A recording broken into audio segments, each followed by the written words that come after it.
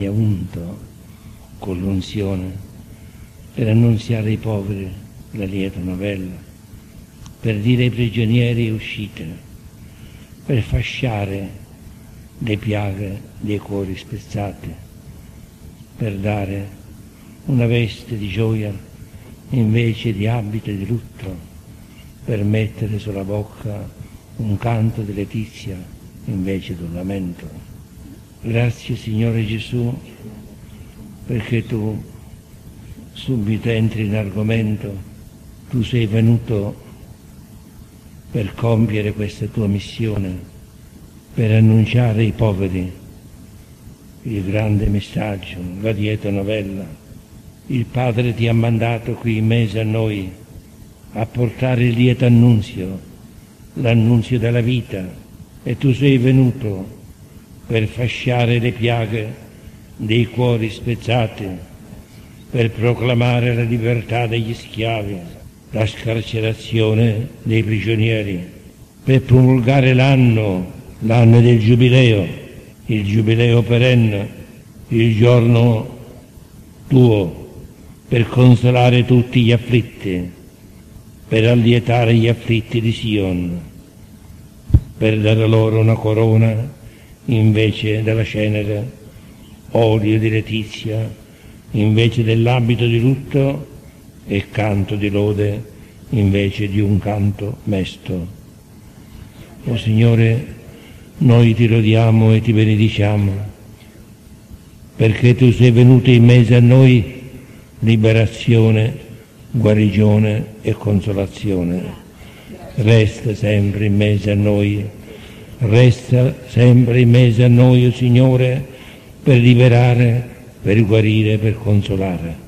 La breve preghiera introduttiva del nostro corso, ci sediamo un momento per concordare le premesse del corso e poi diamo inizio con l'introduzione.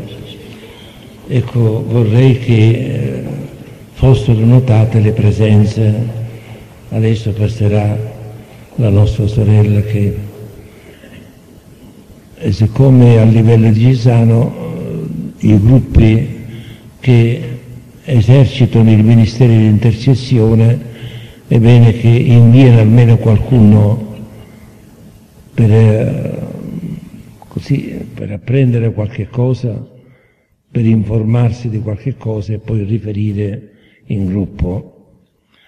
Comunque ringraziamo il Signore e adesso ai gruppi si può dare anche un, eh, uno per gruppo, se se uno, uno per gruppo, dare uno per gruppo.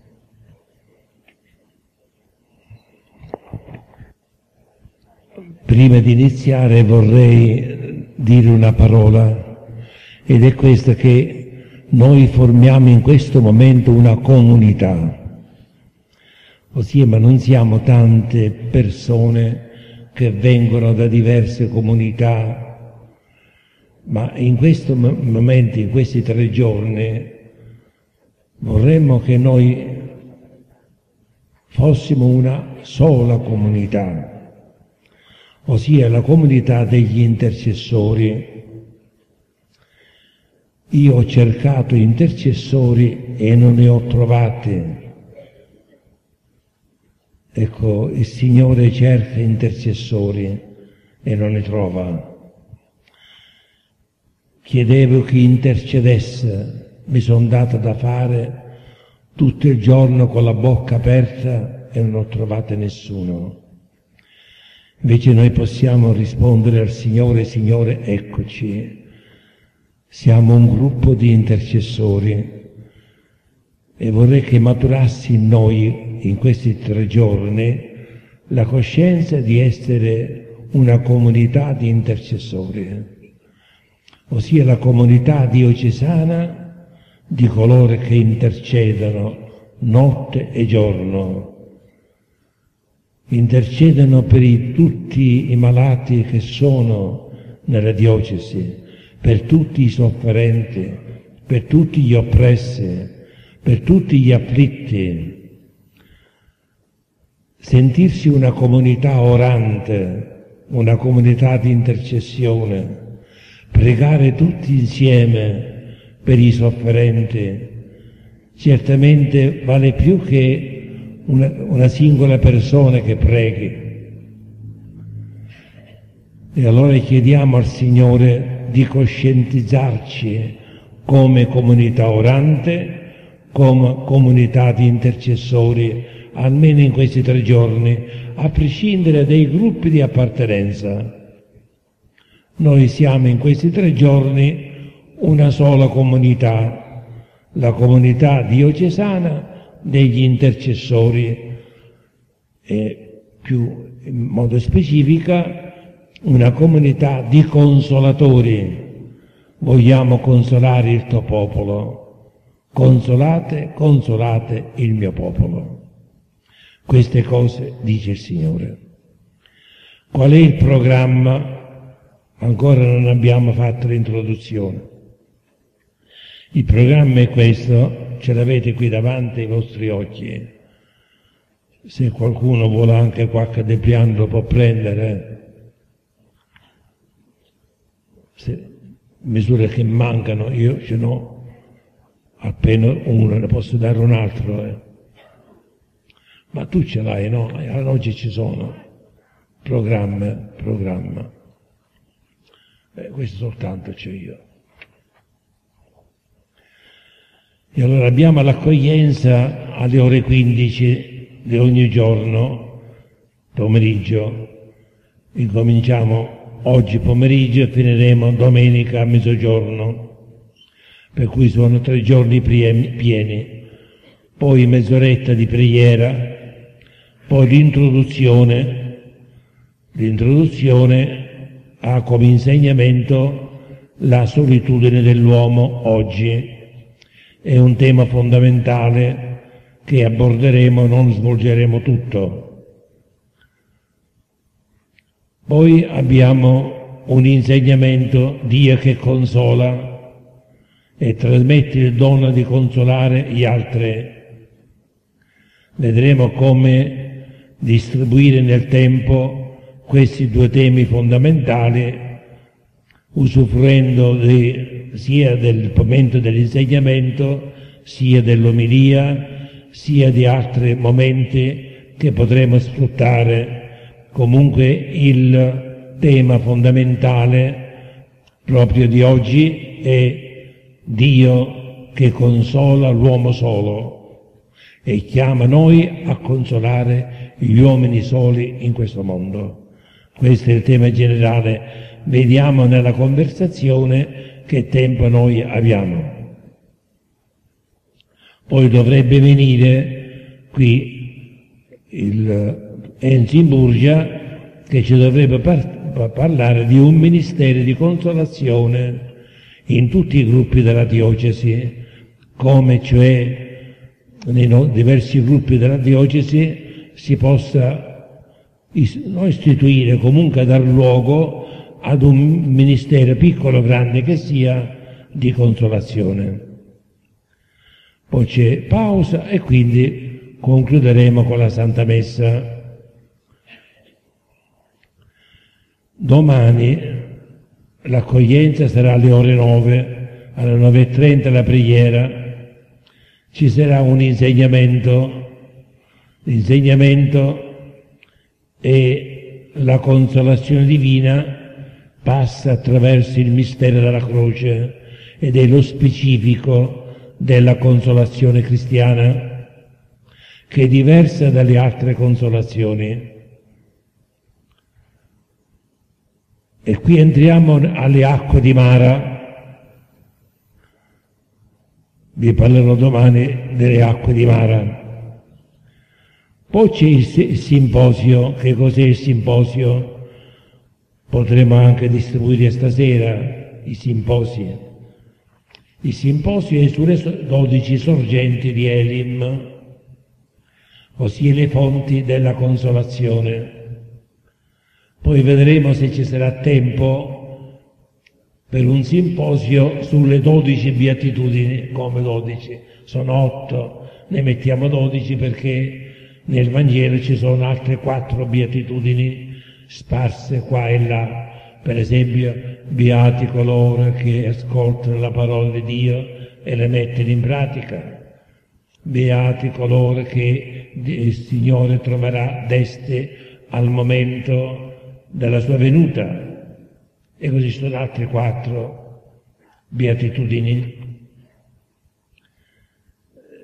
L'ideale è poter fare simultaneamente questi simposi, cioè sei simposi al mattino, sei simposi pomeriggio e poi vedremo se si sarà posto per i simposi sulle beatitudini in modo da avere così un quadro completo, sei beatitudini al mattino, sei beatitudini alla sera, vedremo il tempo disponibile perché ci troviamo a corto di tempi con, una, con un volume di insegnamenti, di istruzioni, di catechesi e poi di riflessioni più vasto del tempo che abbiamo a disposizione, ma non potremo dire tutto.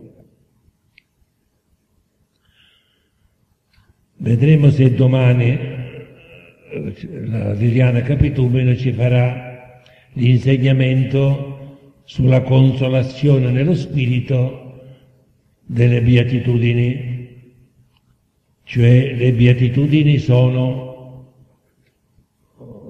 veicolo di consolazione, perché in ogni beatitudine c'è il volto di Cristo che compare e consola l'uomo solo. Poi il sabato avremo pure due insegnamenti, l'animazione della preghiera di consolazione che lo affideremo a Alfredo Di Bianchi che è animatore regio, eh, qui diocesano del Ministero.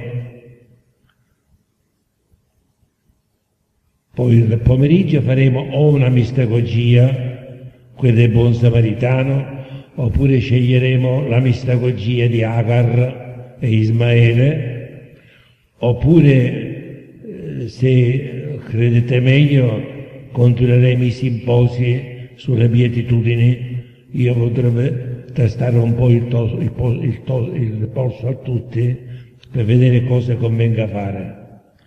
Ci sarà poi l'intervento musica e canto nella preghiera di consolazione di Beniconte. La domenica ci sarà lo stesso degli altri giorni, alle 10 un insegnamento che dovrebbe essere tenuto da Giusti Dragotta, che titolare del Ministero di Catechesi e insegnamento, questo Maria, Madre della Consolazione, e poi la conclusione sarà con la Santa Messa alle ore 11. Bene, noi in questi due giorni, cioè domani e postdomani, se volete potete fare colazione a sacco, se non volete fare consolazione a sacco, tornate alle vostre case e poi ritornate qui per le ore 15, come credete meglio. Non possiamo fare qui il pranzo perché non siamo ben attrezzati, ma forse con questo tempo freddo una, un pentolone di, di minestra non sarebbe stato male a mezzogiorno anche quando fatto colazione a sacco, ma se noi vediamo che sono pochi quelli che si fermano per consolazione a sacco, faremo un, così un pentolone di minestra con le fave o con i ceci per essere così riscaldati. vedremo. Eh. Io sto scrivendo un libro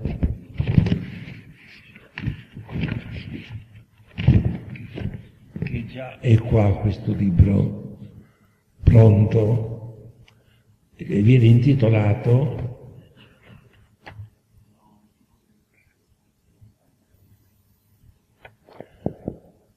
Qui seminari di consolazione ed è tutto quello che abbiamo fatto a Pergusa da questo seminario di consolazione che è risultato molto bello perché eh, la benedetta figlia che ha sbobbinato ha dovuto fare un lavoro enorme ma dove ha annotato anche i punti e virgola di quello che si è fatto. Da questo seminario di consolazione noi trarremo il libro, cioè gli insegnamenti che già sono quasi pronti e che formeranno così oggetto anche in parte della nostra riflessione in questi giorni. Vedete, noi faremo come programma in questo libro prima un'introduzione sulla consolazione, poi la solitudine oggi, il problema sociale della solitudine, poi la solitudine diciamo mistica, che è un'altra forma di solitudine, una solitudine purificatrice, opera di Dio. Poi aborderemo il tema della consolazione, Dio che consola, il Padre che consola, il Figlio che consola, lo Spirito Santo che consola, poi l'uomo che consola, la consolazione può venire dalla terra, dal basso, può venire dal lato, consolazione umana, può venire dall'alto, consolazione divina. La consolazione che noi diamo è la consolazione divina. Poi ci sposteremo alle acque di Mara Infatti il titolo del libro è Preghiera di consolazione, Mara e le dodici sorgenti di Elim. Mara e le dodici sorgenti di Elim. Mara ci introduce nel mistero della croce, cioè la consolazione cristiana passa attraverso la croce. Poi le fonti della consolazione, le dodici sorgenti, sotto le settanta palme che sono, che la comunità degli anziani del grande permizio di Elim, le dodici sorgenti, incominciano tutti con la P. Sono i dodici pozzi, pozzo primo, pozzo secondo, pozzo terzo, pozzo quarto, come se fossero i pozzi di un giacimento petrolifero, invece sono i giacimenti di una sorgente di acqua pura, la cui radice profonda è il cuore di Cristo, che sbocca in dodici sorgenti. A queste sorgenti noi attingeremo, sono i pozzi, preghiera, Comincia con la preghiera e finisce con la parusia, l'ultima sorgente, e poi preghiera, penitenza, eh, tutti, tutti con la P cominciano, dodici sorgenti di Elim. Poi vedremo ancora le beatitudini. Nelle beatitudini vedremo comparire il volto di Cristo, Beati poveri, Gesù povero, Gesù mite, Gesù afflitto, Gesù misericordioso. Abbiamo così le dodici beatitudini, computando le otto più le quattro, che sono manifestazioni della persona consolata in Cristo. La consolazione passa attraverso le beatitudini. Poi vedremo in ultimo due belle figure, gli angeli consolatori e Maria consolatrice. La Madonna che consola, gli angeli che consolano. Sono così corollario di questo eh, tema della consolazione, ma non corollari tanto per dire, per dire, per completare, perché il ministero di Maria è un ministero di consolazione e perché gli angeli santi di cui oggi si parla o a dritto o a torto e a bambera anche, ho per le mani tre libri eretici sulla consolazione. Ieri sera ne ho letto uno, tutto di astrologia, scritto da un diavolo e vanno, sono, sono venduti in tante librerie perché c'è un inquinamento della New che sfugge a noi, ma è un inquinamento grave per cui tanti fedeli comprano questi libri, quello che sto leggendo è l'angelo custode. Tu puoi contattare l'angelo cinque volte l'anno, eh, perché nello zodiaco comparisce cinque volte l'anno, quello tuo però puoi provocare la sua presenza con alcuni riti, eccetera, eccetera. Noi parleremo degli angeli consolatori secondo la dottrina cristiana. Il corso sarà invece tratto da questo libro e sarà diviso in insegnamenti, in simposi e poi vedremo qualche altra qualche altro momento vorrei fare qualche preghiera di guarigione interiore o qualche mistagogia secondo l'opportunità. Così vi ho detto un po' il programma che noi svolgeremo degli insegnamenti e degli interventi.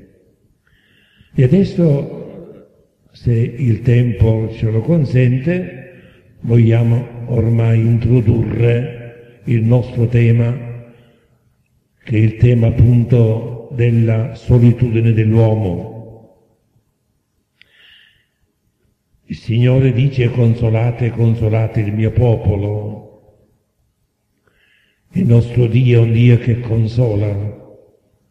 Il filone della consolazione attraverso tutto il Vecchio Testamento ci sono nel Vecchio Testamento due libri di consolazione, il Deutero Isaia dal 40 al 55 e anche Geremia, questo profeta di sventure, ha un piccolissimo libro di consolazione, capitolo 30 e 31, che porta appunto questo titolo, Libro delle consolazioni.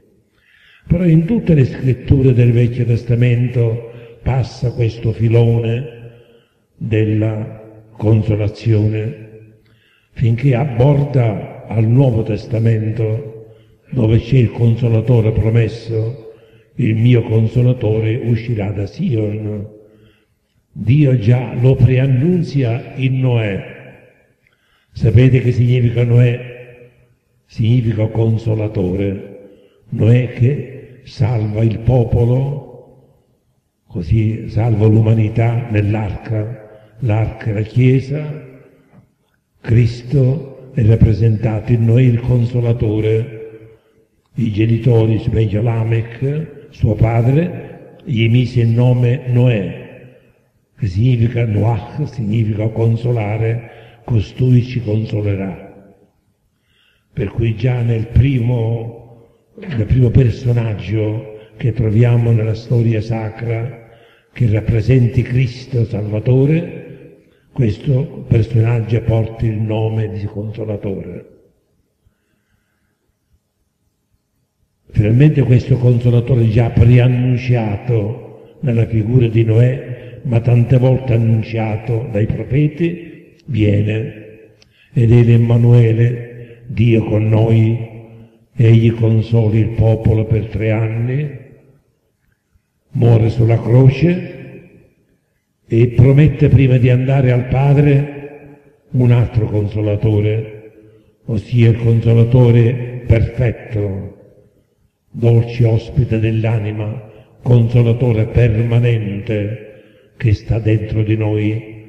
Paraclisis significa appunto consolazione Ed allora, da quando lo Spirito Santo è sceso nella Chiesa, la consolazione è permanente nella Chiesa.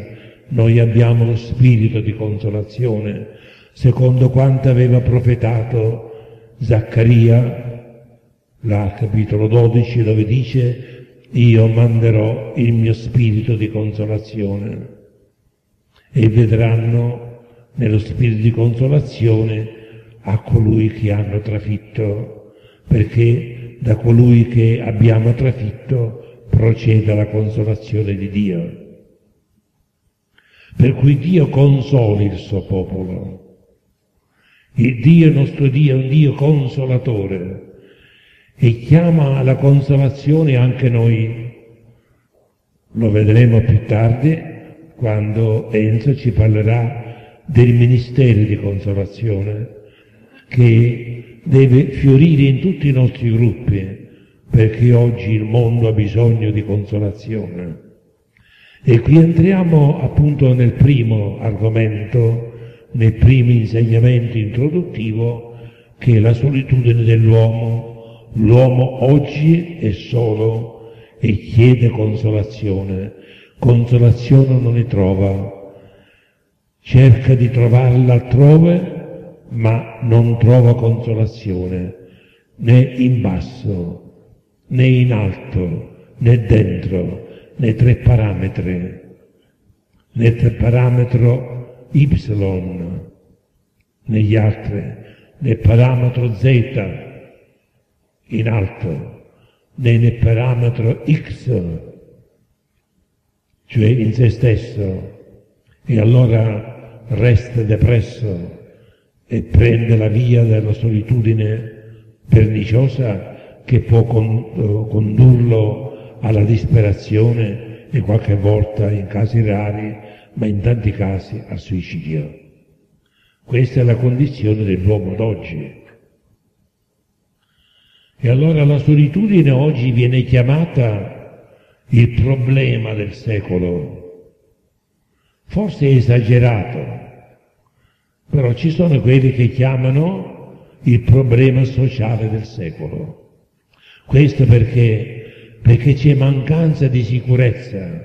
Guardate i giovani, guardate le ragazze, ossia il mondo giovanile accusa questo senso di solitudine di smarrimento, di insicurezza.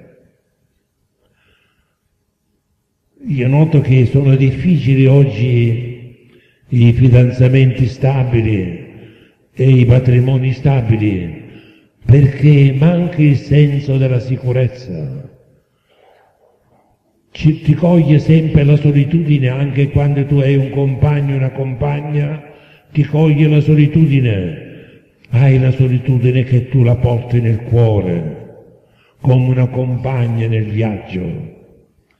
È scritto che si nasce soli e si muore soli, per cui la solitudine già la portiamo almeno latente, almeno lo stato potenziale dentro di noi e quando l'uomo si trova deluso si trova deluso dall'ambiente in cui vive, deluso degli uomini, si trova sfiduciato, non ha dove ripoggiare il capo, si chiude in se stesso come una chiocciola e resta solo, si chiude nella sua solitudine, ma l'uomo dentro di sé non trova la vita ed ecco perché si dispera.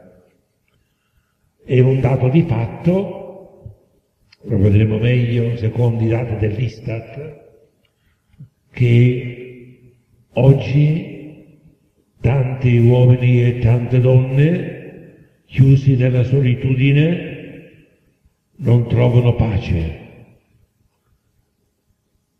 E il mondo occidentale ha dato luogo a una malattia tipica che è la depressione. Prima c'era c'era la depressione, ma adesso, in questo secolo, è aumentata enormemente.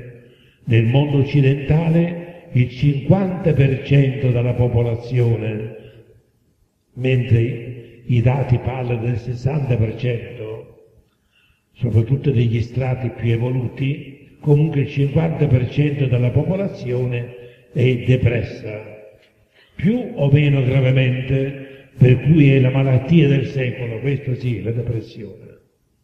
È chiaro che i casi di depressione grave non sono molti, ma un grado di depressione c'è nel 50% della popolazione italiana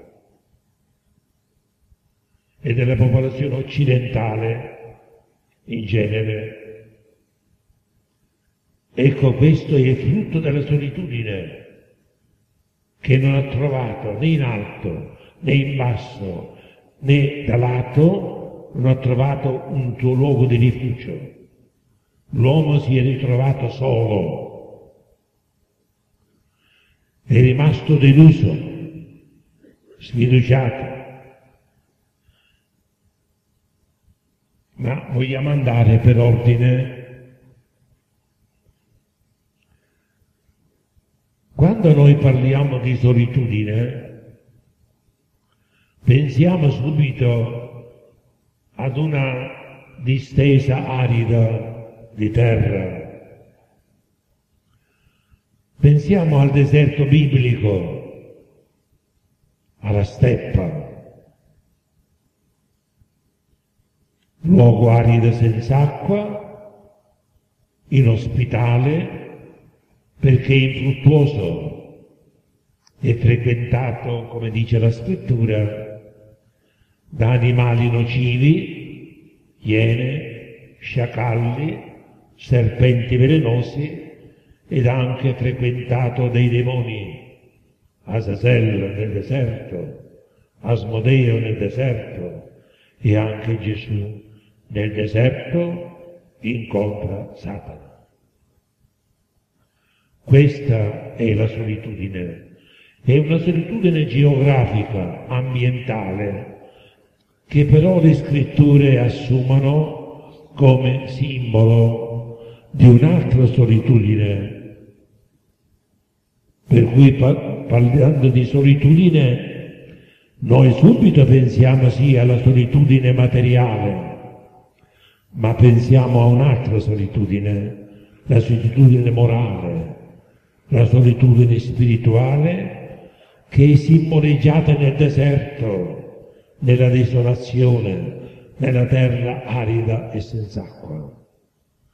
Le scritture ci presentano la solitudine morale o spirituale come situazione di castigo dato da Dio a una popolazione infedele o dato da Dio ad un singolo individuo malvagio.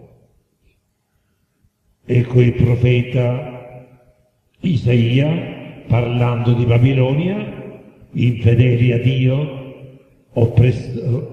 con, la, quel regno che ha oppresso Israele e tanti altri popoli, che è stato idolatra, Dio l'abbandona alla solitudine. Le tue città saranno devastate, non saranno più abitate, i gufi, le civette, gli sciacalli faranno abitazione nei tuoi palazzi, sarai condannata alla solitudine. Anche Edom, anche il monte Seir, dice il profeta Ezechiele, sarà condannato alla solitudine per la malizia dei suoi abitanti. Dunque un castigo che Dio riserva a popolazioni infedeli. E dobbiamo qui fare una parentesi, chissà che questo senso di solitudine non sia un castigo di Dio a una popolazione infedele ad un popolo che ha trasgredito le leggi del malvagio. Ricordate il bellissimo testo del profeta Geremia 17.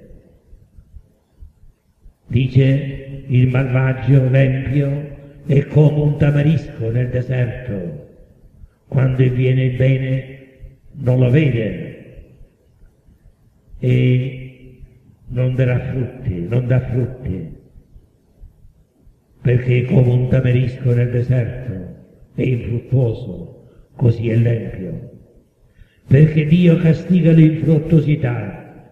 L'infruttuosità è la caratteristica di chi è nella solitudine morale e spirituale. Però come vi dicevo, questa solitudine materiale che viene vista anche come castigo di Dio per popolazioni e per individui, è una solitudine che ha una sua collocazione nella nostra società. Vi dicevo che è il il fenomeno caratteristico del nostro secolo. Quali sono le cause? Le cause della solitudine. Vogliamo un po' individuare queste cause e queste forme di solitudine.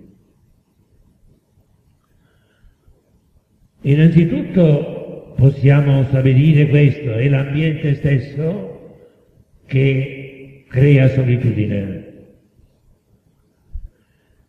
È curioso come in una civiltà così evoluta, qual è la nostra, tecnicamente e scientificamente capace di offrire spazi a tutti per inserirsi nel suo contesto. È raccapricciante notare che l'uomo si sente solo, sono dovunque. Guardate un segno tipico, la televisione. La televisione che dovrebbe essere legame tra gli individui diventa mezzo di disunione, di isolamento. Non c'è strumento più isolante dello strumento inventato per creare legami, per cre- creare solidarietà e informazioni. La televisione. Per cui l'ambiente stesso, in famiglia, ecco che sono due o tre televisioni. Il papà si vuole vedere la partita e ha la sua televisione mentre la moglie vuole le telenovelas. E allora due apparecchi, ognuno per conto proprio i figli, i figli vogliono vedere altri programmi più spinti. E allora una televisione per i figli. Tutte e tre vedono televisione, papà in una parte, la mamma in un'altra parte, i figli in un'altra stanza e non colloquiano mai tra di loro. Sono assorbiti dalla televisione. La televisione che dovrebbe essere mezzo di unione, che dovrebbe creare con l'informazione dei legami, invece è elemento di divisione. Non c'è più isolante che un apparecchio televisivo. Per cui il benessere, il benessere che dovrebbe dare a tutti modo di trovare eh, il proprio posto, di godersi la vita, di stare in comunione con gli altri, il benessere crea divisione perché c'è la lotta per la vita, ognuno cerca di essere in uno stato migliore dell'altro. E allora ecco la lotta, la lotta in cui il più debole dà posto al più forte, il più astuto ha potere sul più ingenuo. E allora l'ingenuo, il debole, cercherà un compenso o nei beni e non trovando così compenso dei beni, cercherà altre compense e non trovandole come vedremo in altro beni, il compenso si chiude in se stesso ed ecco l'isolamento ed ecco la depressione in cui cadono tanti giovani e tante ragazze. Per cui diciamo che il benessere stesso, l'ambiente evoluto in cui ci troviamo, crea divisioni Altro elemento scatenante la solitudine è la malattia. La malattia isola. Quanti malati ci sono oggi? La malattia, nonostante la scienza che, che ha prestato mezzi, tecniche, che ha prestato luoghi dove stare insieme, la malattia resta sempre isolante. Cioè l'uomo con la malattia si sente solo, è isolato dagli altri. Tante volte la malattia eh, eh, così isola in un letto il povero malato, il quale cerca conforto e non ne trova. Alle volte ci si stanca nello stare vicino all'ammalato ed anche quando stanno insieme gli ammalati difficilmente arrivano a coalizzare tra di loro a meno che non abbiano una grande fede, a meno che non si crei un clima adatto per fare comunione. Ma in genere l'ammalato sia in casa sia nelle corsie degli ospedali, a causa proprio della malattia resti isolato. Un'altra causa di solitudine, la solitudine forzata. Pensate alle carceri nostre, sono rigurgitanti di detenuti, senza contare tutti quelli che sono agli arresti domiciliari. Vedete la, la solitudine dei carcerati, è penosa, per cui mettiamo qui la solitudine per il benessere, la solitudine in famiglia, la solitudine nel corsie degli, del, degli ospedali per malattia, la solitudine dei carcerati. Ma andiamo a un altro fenomeno.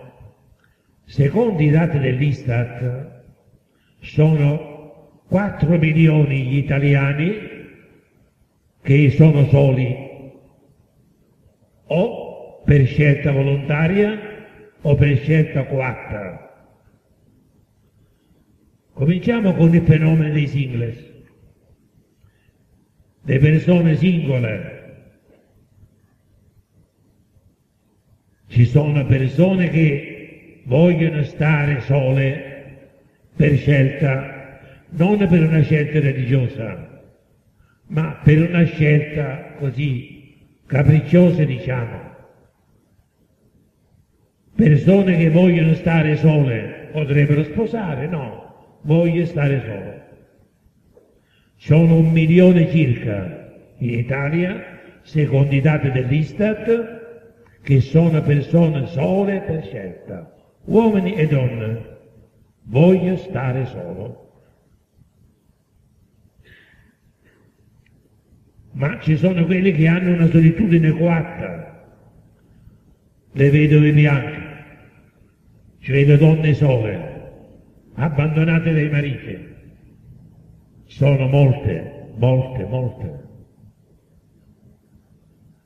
E anche gli uomini abbandonati dalle mogli, che non si danno pace.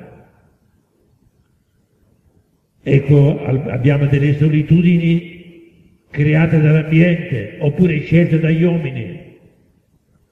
Come vedete ho accennato ad alcune forme di solitudine. Tutto questo forma un esercito imponente di uomini soli in una società in cui il veleno della solitudine è già entrato, perché nelle case stesse quelli che non hanno una condizione di solitudine hanno uno stato interiore di solitudine. Nelle famiglie, mariti e mogli che vivono insieme ma sono soli, mogli che piangono furtivamente perché il marito non li comprende, perché il marito li tradisce, perché il marito li disattende, uomini che piangono anche e le donne non se ne accorgono perché stanno di qua e di là. Gli uomini i quali piangono furtivamente perché non trovano la donna adatta che accudisca a loro e allora cercano altrove, senza pensare ai giovani nelle discoteche, che sono soli e vanno in discoteca appunto per fuggire alla loro solitudine. Allora vediamo quali sono le vie scelte dagli uomini per uscire dalla loro solitudine. È certo un fenomeno, quello della solitudine, un fenomeno imponente che viene così definito da tanti sociologi, ve l'ho detto, come la malattia del secolo, come il fenomeno del secolo, come il problema del secolo. Quali sono le vie che gli uomini scelgono per uscire dalla loro solitudine? Ci sono tre vie. La prima via è la via che abbiamo la via bassa, cioè l'uomo cerca di stonarsi e cerca nel piacere, nell'avere e nel successo di uscire dalla sua solitudine. Ecco allora il costume che alligna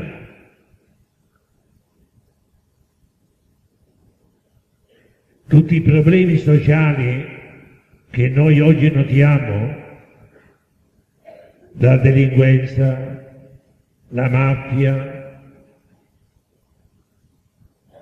la pornografia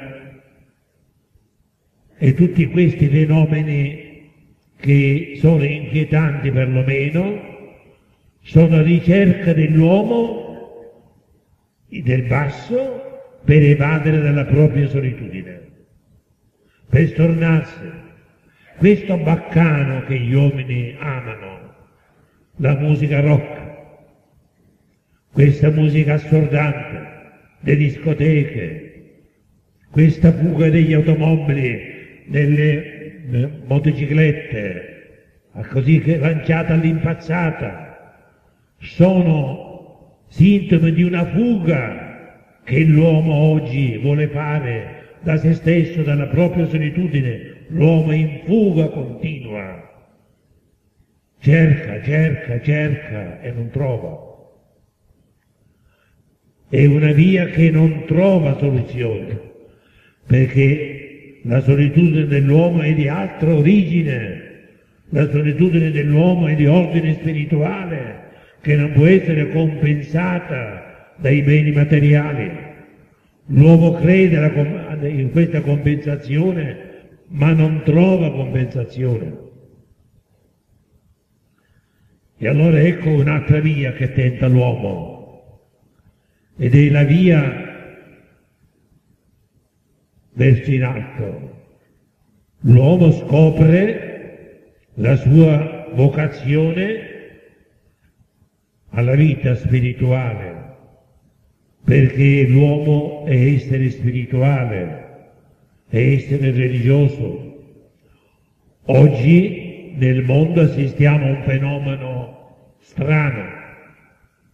Accanto all'edonismo c'è lo spiritualismo e la Chiesa oggi si trova a combattere più che contro l'edonismo, contro lo spiritualismo, cioè l'uomo è religioso e cerca così una via religiosa per evadere dalla sua solitudine e trovare dove aggrapparsi.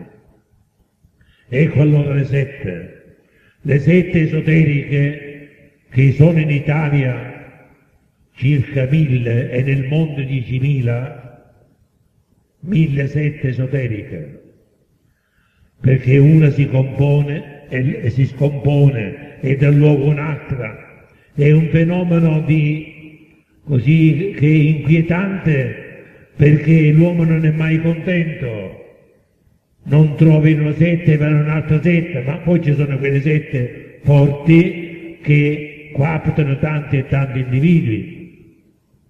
Pensate a sociologi che promette all'uomo così la salute, promette ad un livello superiore di coscienza di toccare così il cielo, pensate a quel fenomeno del, del New Age, New Age che convoglia più di 25 milioni di adepti nel mondo e che è diffusissimo, però è così capzioso che noi non ce ne accorgiamo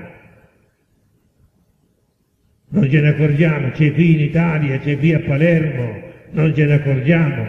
I libri sugli angeli sono patrocinati da New Age. Entrate in un negozio e voi trovate i simboli del New Age, comprate prodotti marcati New Age, non ce ne accorgiamo. Programmi televisivi dove entra New Age e così tant'altra sette Ora ecco una via, la via, la via dello spiritualismo e del neopaganesimo, per cui l'uomo cerca una religione, una religione sua, la religione del 2000, ma cerca una religione al cui centro c'è Dio, non più Dio, sono io il mio Salvatore, sono io che vi creo la felicità. Però a lungo andare si accorge che questa felicità non viene. E allora non trova felicità nel, nel basso, non trova felicità nell'alto, solitudine in basso, solitudine in alto. E si richiude come una chioccia in se stesso. L'uomo in se stesso trova tenebra, trova il male, la radice di ogni male il suo cuore e allora entra in depressione, entra in una maggiore solitudine. Sono le tre vie, sia quelle che conduce in alto, sia quelle che conduce in basso, sia quelle che conduce dentro, sono vie fallimentari per l'uomo di uscire dalla propria solitudine. E il problema resta. Il problema resta. E allora in questo problema che resta, qual è la soluzione? La soluzione vera, la soluzione la dà Dio. Dio ha creato l'uomo non per essere solo. E il peccato, il grande, cioè il grande autore della solitudine dell'uomo. Perché il peccato? Perché il peccato che disgrega. Abbiamo le quattro dimensioni del peccato. Il peccato è disgregante, mentre l'amore è unificante. Guardiamo adesso un momento all'uomo quando Dio lo creò, lo creò in uno stato di amicizia con Lui. Dio riposò dalle opere della sua creazione e riposò dove? Riposò nel cuore dell'uomo. L'uomo si svegliò, si toccò il cuore e vi trovò Dio Dio nel proprio cuore. E Dio mette fuori ogni solitudine, perché Dio è amore, Dio è comunione. Ma quando l'uomo perde con il peccato il contatto con Dio, ecco entra nel cuore dell'uomo la solitudine. L'uomo non è nato per restare solo. Dio gli crea la compagna. Quando Adamo si sveglia, lui che aveva cercato un essere simile a sé, quando si sveglia e trova Eva, grida con la gioia, abbracciandola. Ecco, carne della mia carne, osso del mio osso. Ed è felice. è felice di dentro e felice di fuori, ha Dio nel cuore e attorno a sé trova una creatura simile a sé. È felice perché è in comunione. Ma quando l'uomo commette il peccato, ecco la solitudine. Dio lascia l'uomo. L'uomo si trova senza Dio. L'uomo incomincia ad altercare col proprio prossimo. Il primo alterco avviene tra Adamo ed Eva. Si accusano a vicenda, si separano, sentono vergogna l'uno dall'altro, si nascondono l'uno dall'altro, fuggono Adamo da Eva, Eva da Adamo.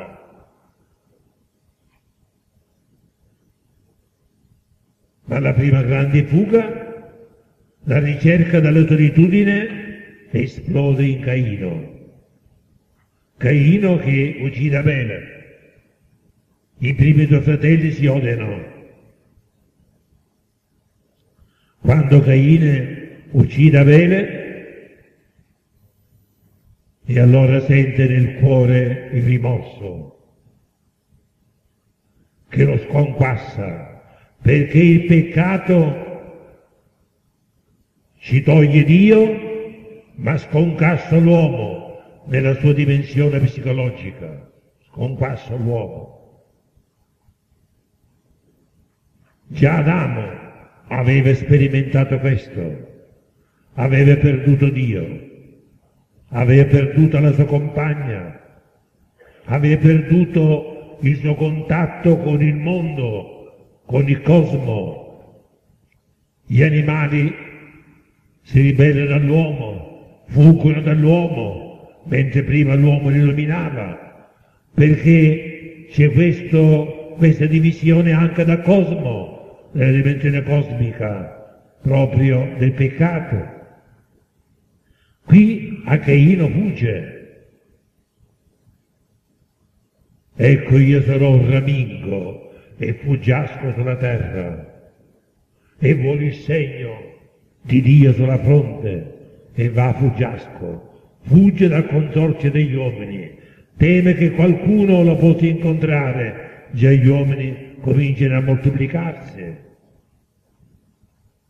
Qualcuno mi ucciderà, ha la paura addosso, cammina fuggiasco, ramingo nella solitudine è il segno dell'uomo, dell'uomo peccatore, dell'uomo che porta il peccato, dell'uomo che è stato divorato dall'odio, che fugge dalla solitudine, l'uomo diventa solo.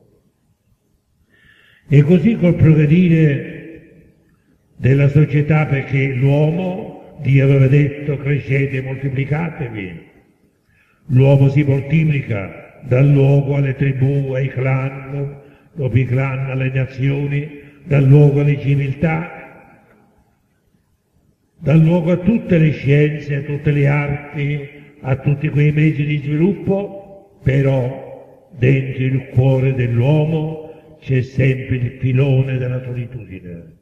Gruppi di uomini che si separano, uomini che evadono dalla società e cercano nella solitudine a causa del peccato primo o del peccato della società un proprio rifugio e l'uomo non lo trova. E in questo mondo sconquassato, in questo mondo di fuggiaschi che cerca pane, profeta Isaia 19, portate pane agli affamati, portate un bicchiere d'acqua agli assetati, in questo, in questo società di assetati e di affamati, in questo mondo sconquassato entra Cristo, l'uomo vero, l'uomo che raduna i dispersi di Israele, i dispersi del mondo, li in sé nel suo corpo, che diventa poi la Chiesa, luogo di comunione. Raduna in sé, ricreando la comunione con Dio e la comunione con gli altri, tutti gli uomini, per cui Cristo è la comunione degli uomini. Soltanto in Cristo l'uomo può trovare l'evasione dalla propria solitudine. Però Gesù ha creato la comunione tra di noi a prezzo del suo sangue, a prezzo della sua morte.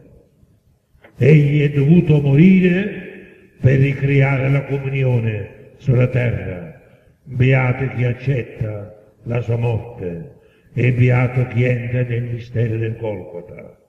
Fratelli e sorelle, entriamo qui nel mistero della morte di Cristo. Guardiamo a questo uomo che porta tutte le solitudini del mondo, all'uomo veramente solo. Egli è abbandonato dagli uomini, tradito da Pietro, da Giuda, lasciato solo dai discepoli, issato solo tra cielo e terra, abbandonato da Dio suo Padre, è l'uomo che ha preso le umane miserie, tutte le solitudini dell'uomo ed è morto solo sulla croce, ma con la morte egli ha dato vita alla Chiesa. La Chiesa è nata là sulla croce, dal costato di Cristo trafitto. È là che è nata la Chiesa, è nata la comunione, è nata per l'uomo il luogo dove l'uomo può rifugiarsi e dove può trovarsi nuovamente in comunione con il suo Dio e con i suoi fratelli. Fratelli e sorelle, è soltanto Gesù che può essere la via di uscita dalla solitudine dell'uomo. È in Gesù che il Padre, il Figlio e lo Spirito Santo colmano la solitudine dell'uomo e sono il consolatore dell'uomo. Amen.